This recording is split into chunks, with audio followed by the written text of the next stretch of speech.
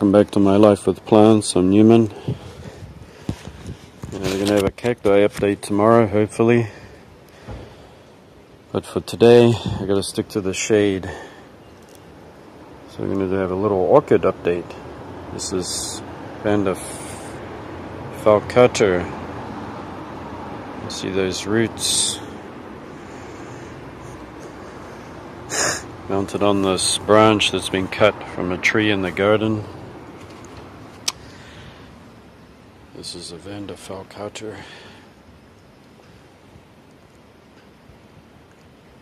I gotta cut back on the watering a little bit. Uh, this is Dendrobium GCI that was growing on my in my on my balcony but I rescued it from there because it's just it's south facing so it gets maximum sun it's too much even though I provided shade for it 80% the sunlight that comes through the shade cloth is overheating it and it doesn't like it it likes to be cooler so underneath here is much cooler underneath these trees this is my Brassavola nodosa. And one, two, three, four. This one, five, six. So it's starting to grow a lot. Uh, it was mounted on here, as you know, three months ago.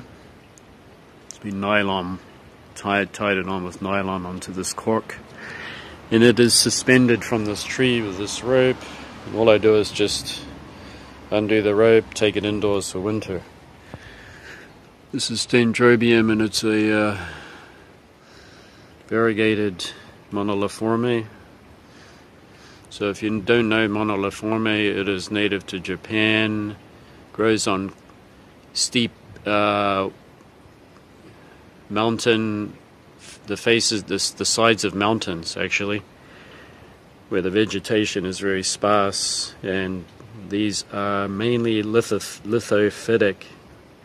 Occasionally, they will drop down their seeds and become epiphytic too. Uh, this one is the hang, the Dendrobium hancockii. I've been waiting for new growth, hasn't had any yet. It's still healthy. It may, it may, shoot out new growth, who knows. This is another Vanda falcata, which are native to Japan from this area going south. And that is a, an epiphyte. Don't think it's lithophytic at all. This is another Dendrobium moniliforme. It's a hybrid, so this one will have purple flowers. Down here is Restrepia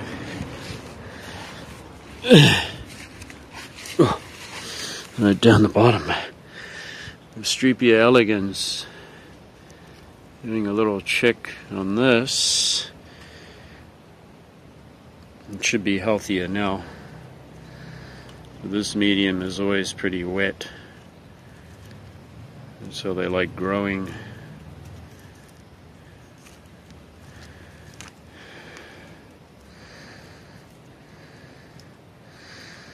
Hasn't put out any new foliage yet, although it did before. And you can see that it has crinkling. That is because the I had it before the humidity was too low.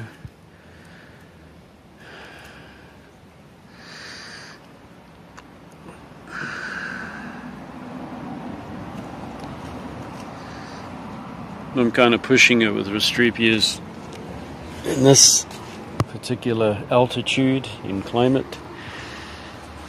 Up here we have another moniliforme that has flowers that look like that. It's growing fine, no problems. Once they get happy and established, they are fine. And on the same conifer, these ones are mounted onto the tree, so of course they won't be coming in. They can take the cold temperatures here, being native, and this um, Dendrobium nobile. We'll check up on it. We got some nice big grasshoppers bouncing around. These things are like toys. Look at that.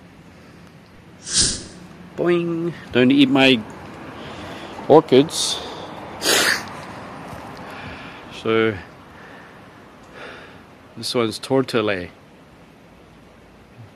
Dendrobium tortellate. We have no problem growing outdoors. There's one right next door, it's been out there for years. Okay, unrelated. But I'll just show you pictures. Near Regelia, near Regelia's here, you got the Venus flytrap. They are in a tray that's a outdoor tray, right? You know, can take the UV. There's a constant supply of water in there. These all can go down to minus 12, which is 10 Fahrenheit. It's freezing. They just become dormant and go down in their natural habitat and then they start regrowing. So you can keep them outdoors. This is a Chamaecereus silvestrii. Just thought I'd show that because these ones can grow outdoors here all year. So can these. Cactus Linninghelsii. Showing you a bit of everything. This is the Japanese native Bulbophyllum japonicum. Now its new offset right there has done much better since hanging it under this tree.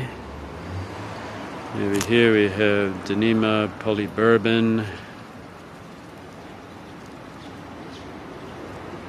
Something.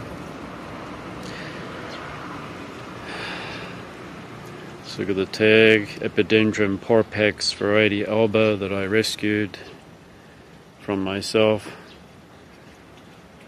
I think they're going to do much better on the mounts. And up there is uh, am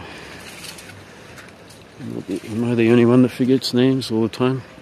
The Totes bicolor. I mounted on here because it was starting to go downhill.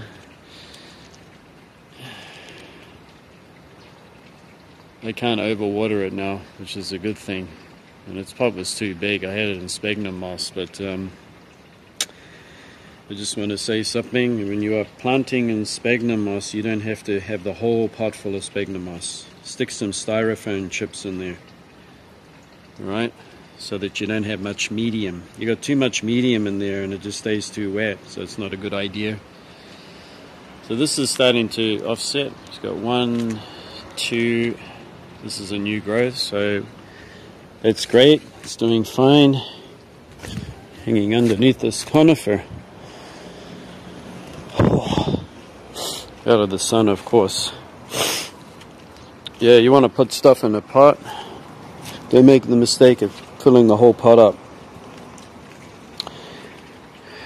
This is a um, this is an uh, uh, I can't remember. It's the heat. The heat's starting to get to me. These are related to uh, Tillandsias, but it has the. It's often called the um, the quill pen plant because when it has the inflorescence, it looks like a big the end of a quill on a old-fashioned pen and then the inflorescence pop out of each crevice of that. This is what that remnants is there. Over here is a keiki that was grown from uh, an orchid, a nobile type, Sakuran, I think. And it's doing pretty well. It's in sphagnum, so it's pretty moist and um, doing much better underneath these trees. I noticed that when I try to grow keikis, I wonder why they would suffer and die. It's the heat. Definitely when you're growing keikis, try not to get them over 30 degrees if you can help it. So under here, you can feel this. This is like just barely warm, which is fine. If you touch it and it's hot, you know, goodbye keiki. Uh, this is Dendrobium nobile, Angel,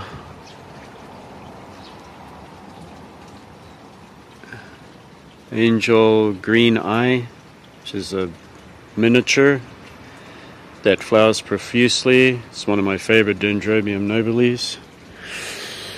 Up here is Nepenthes elanta. So if you want something interesting to add to your orchid collection here and there in between, why not a Nepenthes? And they're not hard to grow at all. You just use rainwater or dechlorinator. If you have hard water, you put a little dechlorinator in the water, let it sit for a few days. You can use that too. There's these big old pitchers. The bugs go down inside and get trapped because they slip. Let me show you here. We can get this thing to focus. We'll try this one.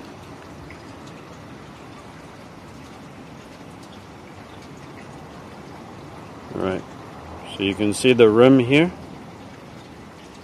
This rim has grooves in it. Para, uh, horizontal.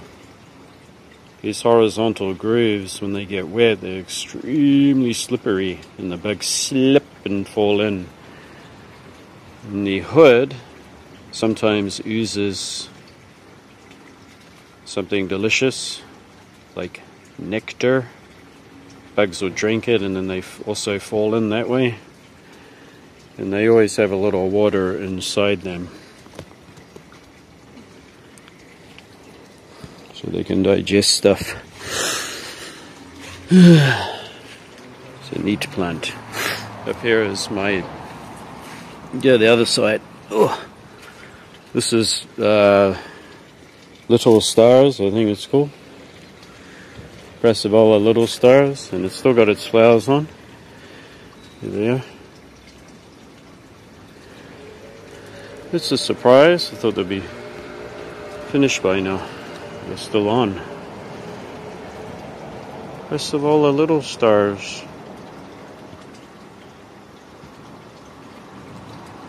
Had more flowers that were up here on this inflorescence when I bought it. It's mounted onto this cork that's hanging from this tree and I'll just bring it inside in the winter.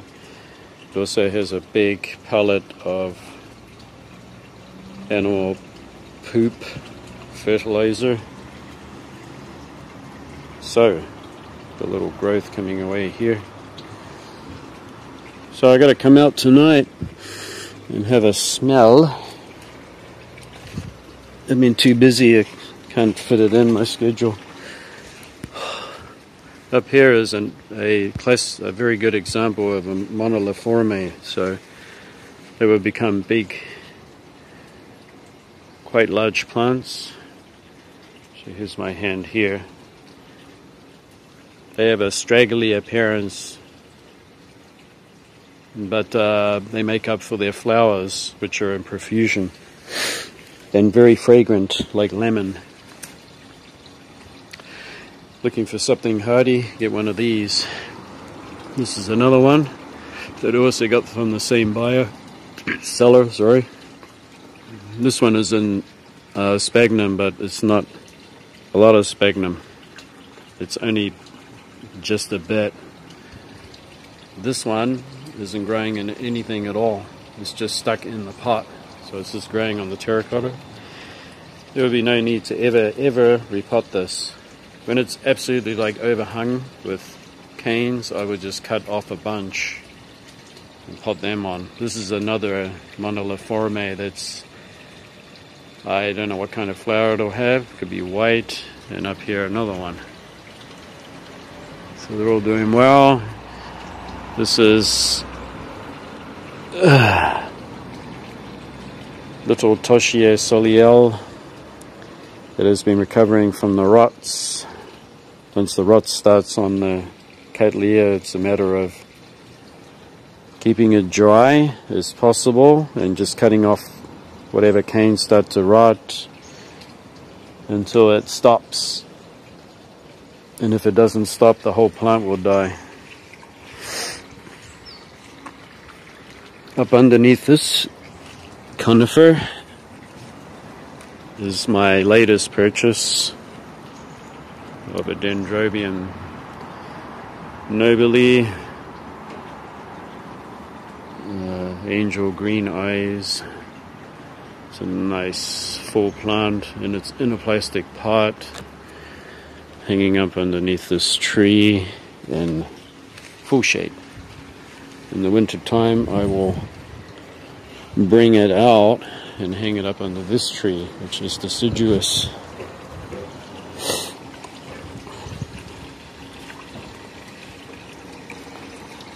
Zooming about in the garden is a dragonfly.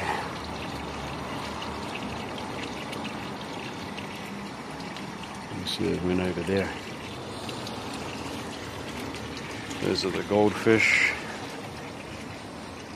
Under here is a native Cymbidium goeringii.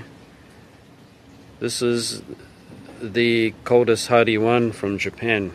Not the Chinese variety, but the Japanese one. And they do have pseudo bulbs that are about this big with the growth and it is terrestrial. Occasionally will be epiphytic. Grows in well draining soil. It's under here. I'm gonna do a bit of weeding again this is an optimal position for it so it's been clumping and clumping growing much better. Yeah I'm hoping that when it does set seeds which it did last year those seeds will just develop underneath here. That's what I'm hoping. Could be wrong but I have marked where I think seedlings came up think these are seedlings, or it could be another plant in the garden. We will know later. It's hard to identify it, really hard. Okay.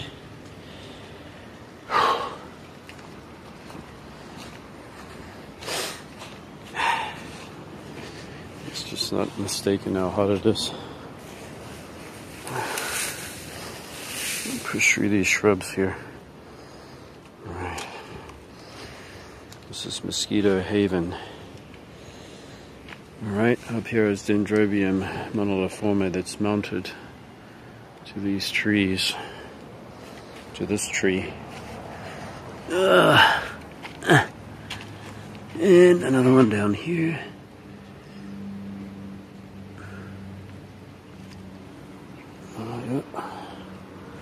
Another one here. And this is Vanda falcata.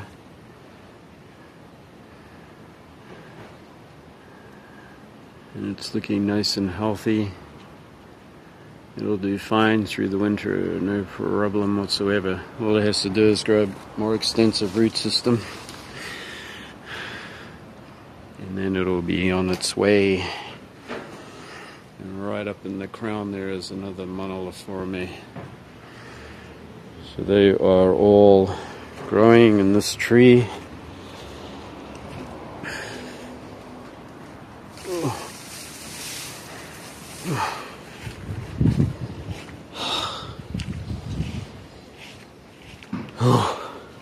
Some other interesting plants in the garden is this Sorry, I don't know what it is. I would think that they are native to Japan.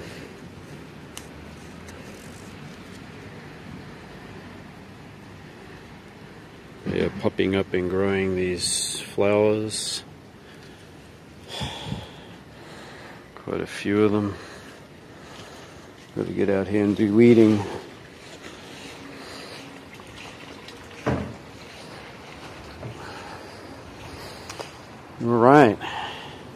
That about covers everything.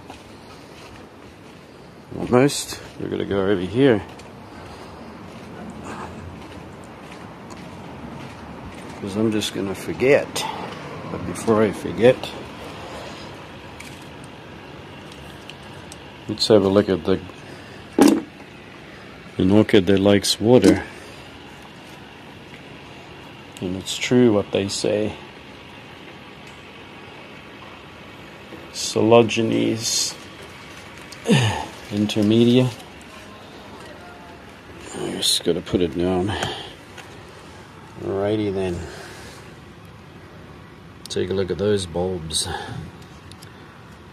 and the new growth. Well, this new growth has no marks on it. It is stinking humid here in Japan. This thing is growing happily and it gets watered every day. In this medium, I try not to pack that in too tight, but uh, this sphagnum moss that it's in, it's moist all the time, never dries out. And when it gets watered, it gets watered when it's moist. And you don't have to care because that is the key to a Coelogyne growing them. They're much more happy now, whereas before I was getting this kind of stuff happening. The tips are going really black, and the new bulbs and the growths were drying up and the leaves were falling off. They were stunted. An example of that would be this tiny little bulb here and that one. Now we got roots coming out and this is the new growth. So Coelogynes, you can just water them, you don't have to worry about rot. They won't rot. They have different roots than fowls and vandas. They are different. They are more fibrous.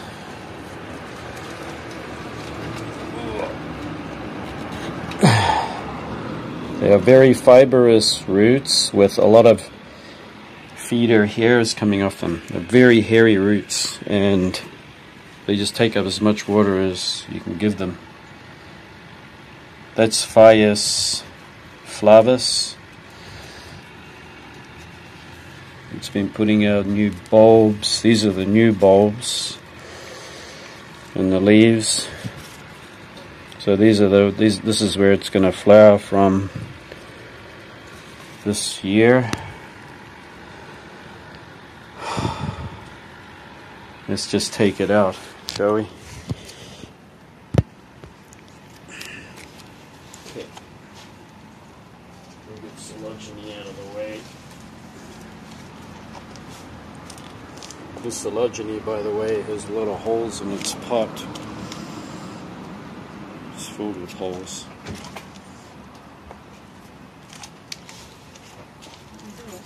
I'm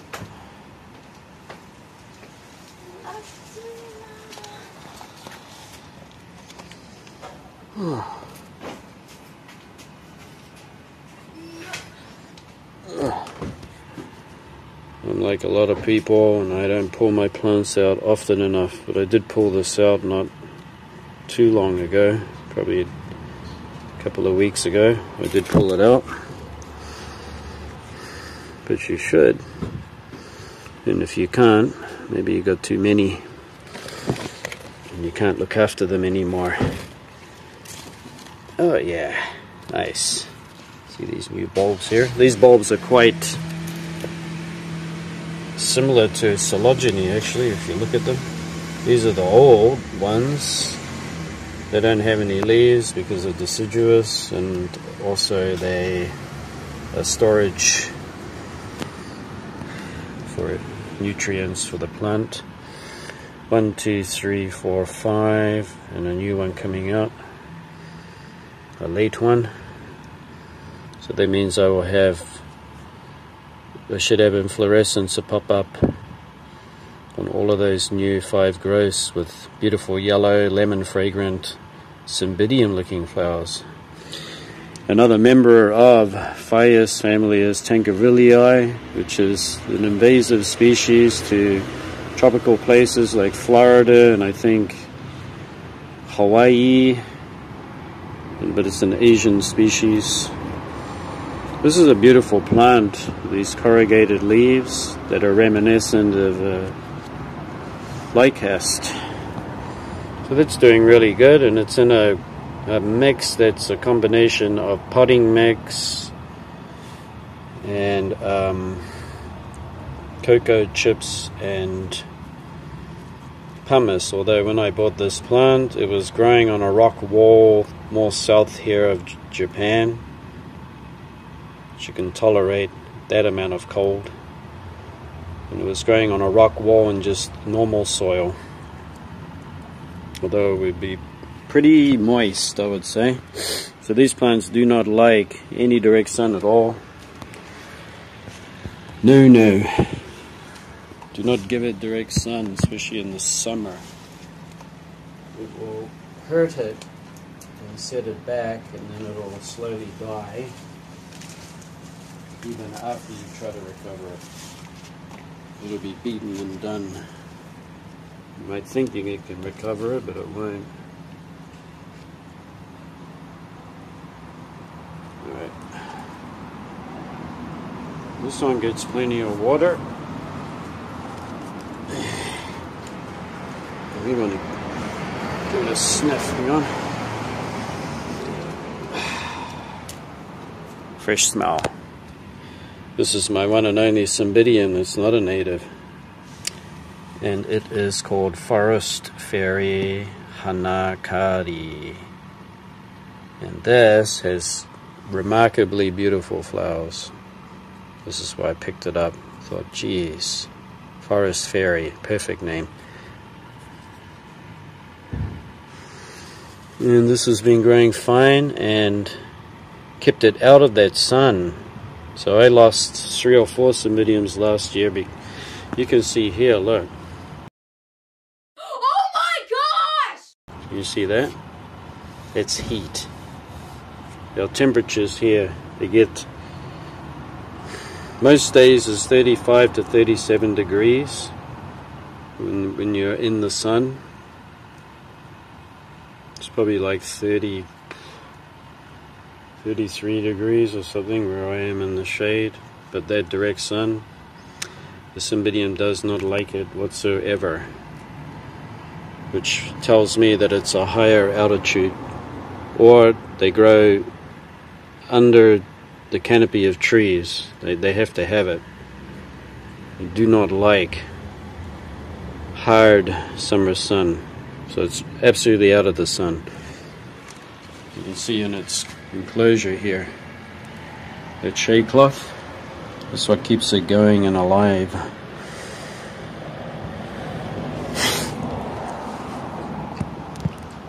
So, success. Something else interesting I want to tell you about cymbidiums is that in this porch here, in the winter, we get down to minus 8 degrees, minus 8.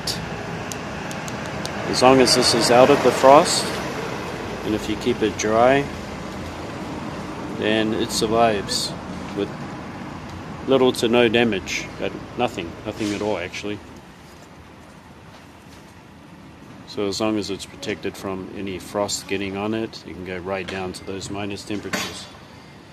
But the thing is, is that it would like a little more water. So from the springtime, early spring, it'll be trying to push out its flowers. And if it doesn't get water, it will abort them. And you know, our winters are colder than in its native habitat. So one thing I have to do is when it's developing those flowers, it'll be time to bring it inside because it'll be still uh, but here's the thing if your rooms are heated, if you got central heating, bring them in, all those buds will fall off. So the best you can do is to give it a little water when it's trying to develop them. It shouldn't rot, with a little bit. And if it aborts them, it'll try to push out a second flush. That's what they do.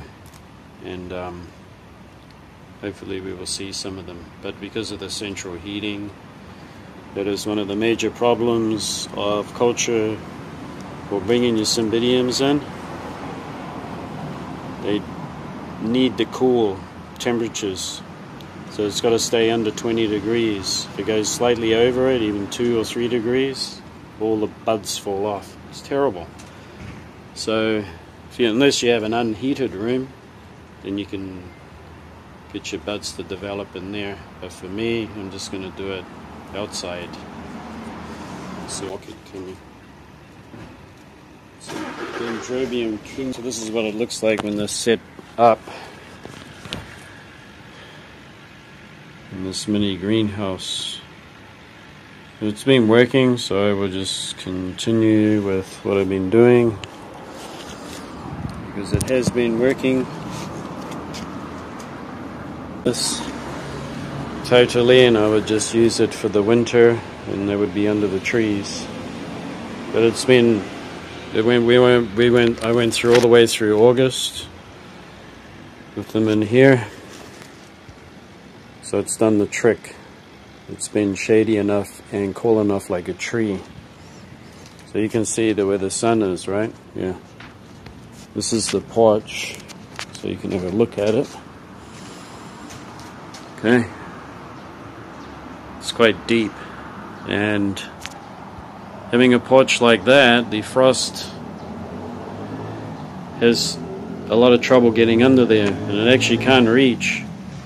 By the time it gets to here, it can't go under because the house gives off heat and that dis that uh, that dissipates or stops the frost. Also having them underneath trees will do the same thing. Yep.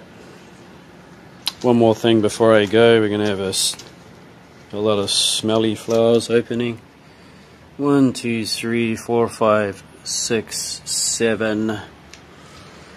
You see one over there, eight. This is Stapelia gigantea. It's the toughest and the most widespread of the Stapelias and the biggest. That's why it's called gigantea. Velvety, felty What's great about a Stapelia gigantea is um, you can take a cutting off it, like right here, chop it off. I got one, I got a couple here. One, two. And these, I've already like sealed up over the calloused. I cut them over a month ago. And even when they shrivel up, really shrivel up, you can just keep them like that. You can keep them like that all winter inside in a dark place that has no light at all. Just air circulation. You can just leave them like that and then in the spring plant them in a well draining mix in a pot and then they will grow and make big stinky amazing flowers for you. And then you can chop it back up, put it back in the house. You don't have to keep them in a pot with all the roots intact and everything. You can just cut them. Yeah, it's easier. It's probably probably what I'm gonna do. Uh, so I don't drive everyone nuts bringing in plants. We'll just chop it up and I'll repot it. And then it'll grow again because that's part of their nature their nature to do so. They seed a lot and grow and flower and die back. It's unic unic uh, what is it? Stapelia unicornis that actually had a different flowering time. Actually flowered during the summer. This one's an autumn flower. Okay, that's it. This is the end of the video, and these are my Cereus Jamacarus. And they also put up with that low, cold temperatures, which they surprised me. They can do it as long as they're kept dry. And you got low humidity in the winter. They will put up with the freeze. And the frost tries to get in a little bit on them, but they get through it. And thanks for watching. Don't forget that looking after your plants is not a chore, it's part of your self care. And that care that you give to your plants usually spreads to everything that you do in daily life. And having too many plants is not greedy, it's not greed to me. It's a it's a care thing. Caring for a lot of plants and actually giving a damn whether they live or not or flower or anything like that. It's a good, valuable thing to have. To have that little bit of pressure on you to look after many plants and to make them flourish and everything like that. And pretty sure that that's valuable with a lot of things in your life. Wow. Look at that. The first flower on my Sedum spectabilis. And this Sedum spectabilis is native to Korea and Japan. It's their native sedum. There's big thick leaves on it. And once it's and it has a fragrance that draws in all the butterflies and the bugs. And once it's finished flowering, you can cut the stem right down to here and stick them in a well draining mix, and they will produce little tiny offsets that will grow into the soil. And you don't pull the stems out, you leave them in there. And then in the spring, they will develop little buds and grow a new bunch. But this whole plant will die down for the winter and take a rest. And then in the springtime, you cut all the old stems off and down in the corm, there's a big corm underneath there, tuberous roots, little tiny cabbage-like crassula's will start growing all on the surface, which is pretty nice. I mean, I like looking at them. They're like really compact crassula cabbages that all grow in there. And then as the summers come, they start to stretch up. And then they have the buds and they flower in the autumn. And they bring a lot of bugs. So, because I like that plant, they keep propagating it and somebody kicks me up the bum for it. Or whatever. They have some in the garden too. Look. All the bugs will be coming and one more over here. So these are the ones I did about two years ago. And they've already become big plants. All the bugs will enjoy that. One more sedum. This is a native of Japan too. And this one will have flowers just like that, but a little later. And this one you can also cut off the old stems before they die put them in the soil and I'll have little tiny cabbages pop up. And this one is totally cold hardy, so it's found on the most northerly island of Hokkaido in Japan, growing on cliff faces. Nice sedum there. Nice contrast in your garden, right? So that you have a lot of different colors. So these stay sedum spectably uh, spectabilis uh, could you grow them in England and countries like that? You could if you just put the pot underneath the eave of the house so that the rain doesn't get on them. They'll do perfectly fine. They're very hardy. Okay, that's it. Thanks for watching. See you next time. Bye bye.